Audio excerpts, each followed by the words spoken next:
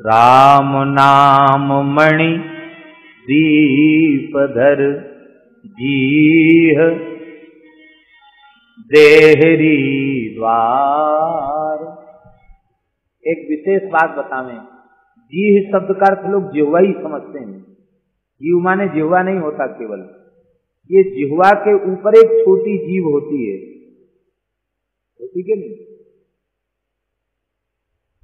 यहाँ भीतर एक होती ना इतनी इतनी छोटी।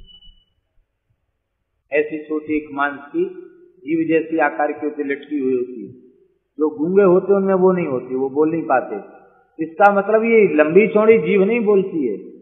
बोलने में मुख्य भूमिका उसी की है, वो छोटी चीज़ है। डॉक्टर कहते, मुँह खोलो।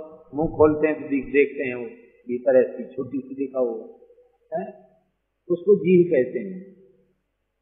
और यह देहरी द्वार का तात्पर्य क्या है? बोले, इतना नाम जप करो, इतना नाम जप करो, इतना नाम जप करो, इतना नाम संकीर्तन करो, इतना नाम संकीर्तन करो, इतना नाम संकीर्तन करो कि ये गैखरी जिहवा ही नहीं।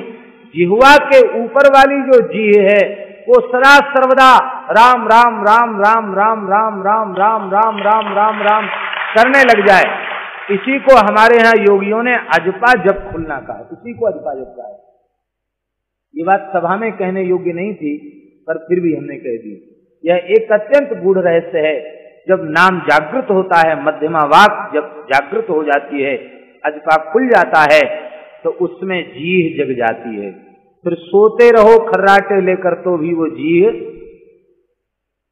वहाँ से नाम की ध्वनि चालू रहती है। यही है, राम नाम मणि, दीप धरी जीह वो भीतर। वो देहरी, यही है ना देहरी, ये भीतर का, ये बाहर का यही देहरी का स्थान है ऊपर वाला। तो जी, राम नाम मणि, दीप धरु जीह जी समझ गए ना? देहरी द्वार। तुलसी भीतर बाहिर। जो चाह उजिया।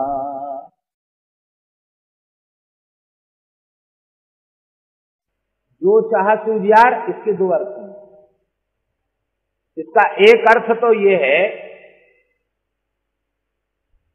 कि किसी अज्ञानी के अज्ञान को दूर करने के लिए आप प्रेम का, नाम का, ज्ञान का प्रकाश देना चाहते हैं।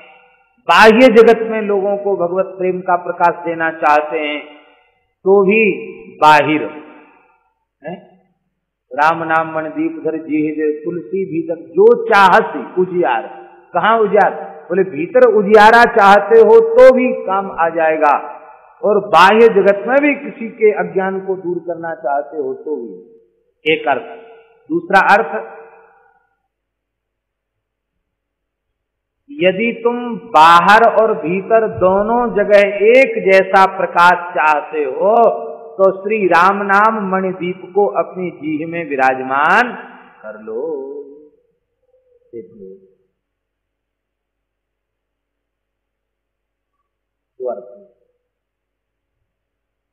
केवल भीतर प्रकाश चाहते हैं, बाहर किसी को नहीं तो तमाम ऐसे महात्मा हैं बहुत उच्च कोट के नाम में संत उनमें बड़ी बड़ी सामर्थ्य है नाम की।